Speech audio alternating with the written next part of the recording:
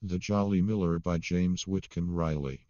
Restored Romaunt. It was a jolly miller, lived on the river Dee.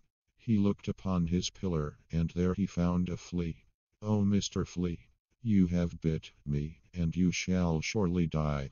So he scrunched his bones against the stones, and there he let him lie.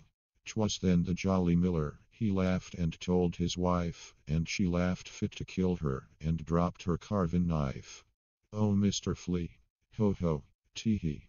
They both laughed fit to kill, until the sound did almost drown the rumble of the mill. Laugh on, my jolly miller, and Mrs. Miller, too. But there's a weeping willer, will soon wave over you. The voice was all so awful small, so very small and slim. He durst infer that it was her, nor her infer 'twas him. That night the jolly miller, says he it's wifey dear, that cat oh, o' yourn, I'd kill her. Her actions is so queer, she rubbin' 'ginst the grindstone legs, and yowlin' at the sky, and I low the moon hain't greener than the yaller of her eye. And as the jolly miller went chuckle unto bed, was somepin jerked his pillar from underneath his head. Oh wife, says he, uneasily, fetch here that lantern there. But somepin moans in thunder tones, you touch it if you dare.